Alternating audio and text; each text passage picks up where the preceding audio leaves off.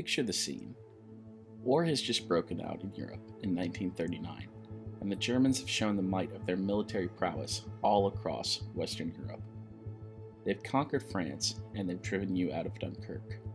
Alone on your island in the middle of the Atlantic, you're harassed by modern Leviathan battleships of the German Kriegsmarine. You've dealt with their flagship battleship, Bismarck, at tremendous cost, but another beast lurks in Norway, threatening your Atlantic shipping routes. You have no choice but to force that ship into isolation. What could you possibly do to neuter the threat of the Tirpitz? That is exactly what the British leadership was left to ponder in 1942. The only hope of keeping the Tirpitz at port in Trondheim was to cripple its ability to seek repairs in France.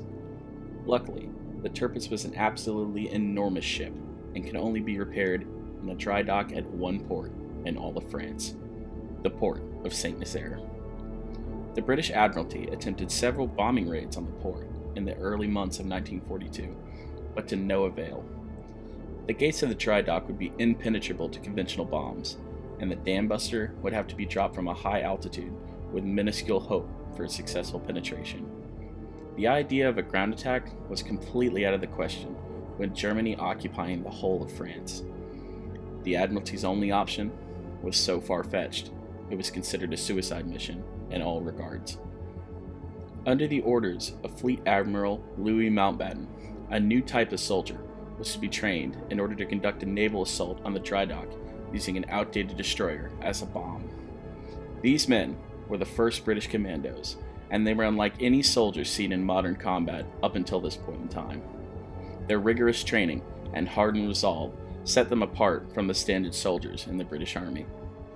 The commandos would take the HMS Campbeltown, a Lend Lease destroyer from the United States, rig it with explosives, and ram it into the dry dock gates in St. Nazaire.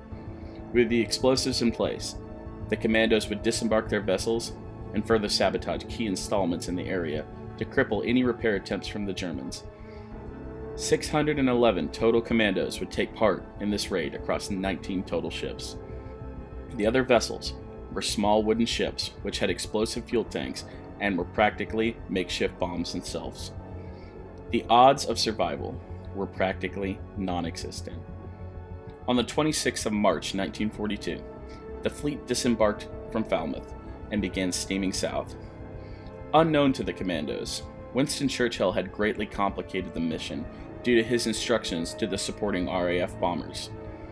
The bombers were to soften up the enemy forces around the same time Campbeltown was entering the six mile long mouth of the St. Nazaire estuary.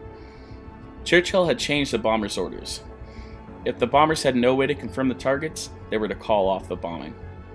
As the Campbeltown's flotilla approached the estuary, the bombers were flying overhead and their targets were obscured by cloud cover.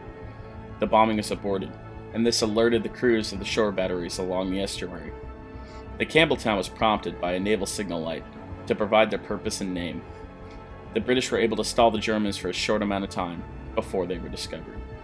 In a hail of gunfire, the British removed the Nazi flag they had been flying for the skies and raised the British insignia. They increased their speed to 19 knots and they rammed the gates of the dry dock, lifting the explosive load in the hull right above the target. The commandos disembarked through the chaos and began to attack the shore installations.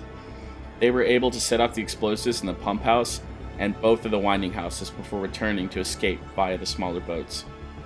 In horror, they looked out across the harbor and witnessed a sea of fire. The smaller wooden boats had been completely annihilated due to their lack of armor, and there was no escape. 215 of the remaining commandos were captured and made POWs by the Germans, but the Campbeltown had yet to explode. By now, it was daybreak, and the inquisitive Germans had begun sifting through the Campbeltown to collect trinkets and to inspect the ship. At noon, seven or so hours after the predicted time, the Campbeltown exploded with a force of 2,000 tons of TNT, sending metal ship fragments and pieces of the dry dock flying at great speeds and crippling the port. Because of the time delay, 360 Germans were killed, both soldiers and civilians. The commandos had done it. Against all odds, they were able to breach the German defensive line at St. Nazaire and destroy the only dry dock capable of housing the Tirpitz. The dry dock was irreparable until 1947, and the Tirpitz was forced to stay in Norway for the remainder of her service life until she was sunk in 1944. What a crazy story, guys. That's one of the most unknown stories in World War II, in my opinion. You don't see many people talk about it. So I thought I'd like to bring that to your guys' attention. If you did enjoy the video, make sure to leave a like and a comment in the description down below, and subscribe to the channel. We're going to try to reach 2k by the end of the year. Anyway, this has been Batchat Begins, and I'll see you guys in the next one. I still see your shadows in my room. Can't take back the love that I gave you.